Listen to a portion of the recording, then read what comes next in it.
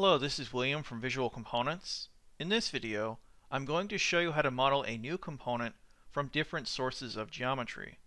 For example, sometimes you may want to import many different CAD files and save them as one component. To give you a quick example, I have two geometry files. Let me find them here.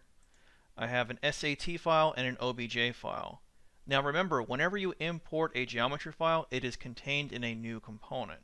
So if I take this positioner file here and drag and drop it in the 3D world, this imports the file and now it's contained in its own component. Let's now go back to that other file, the part file. I can drag that into the 3D world.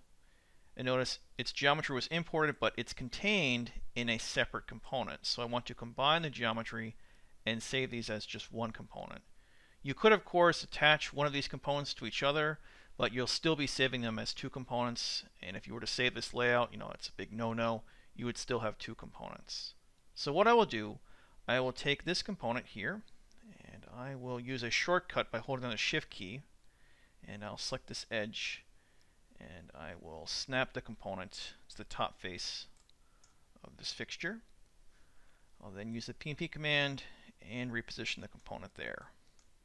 I now want to move this geometry into this other component. So with the part component selected, I'll go to the Modeling tab, and in the Component Graph panel, if I expand the node feature tree, notice I just have one geometry feature here, so I will select it.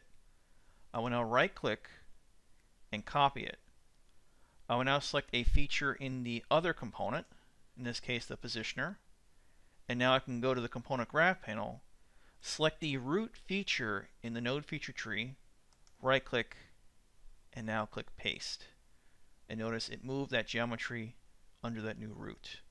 So I move the geometry of this part into another component, but the location is not correct. So with the geometry selected, I can go to the tools group, use the snap command, and I'm going to be using a snap type of origin, and I will snap to the origin of that part file. So let me Move it there. And there we go. Now we cannot see the geometry, so we need to delete the old component. So I will select the part, but it may be hard to pick it. So with the geometry that we moved still selected, I can go to the Feature Properties panel and clear the visible checkbox.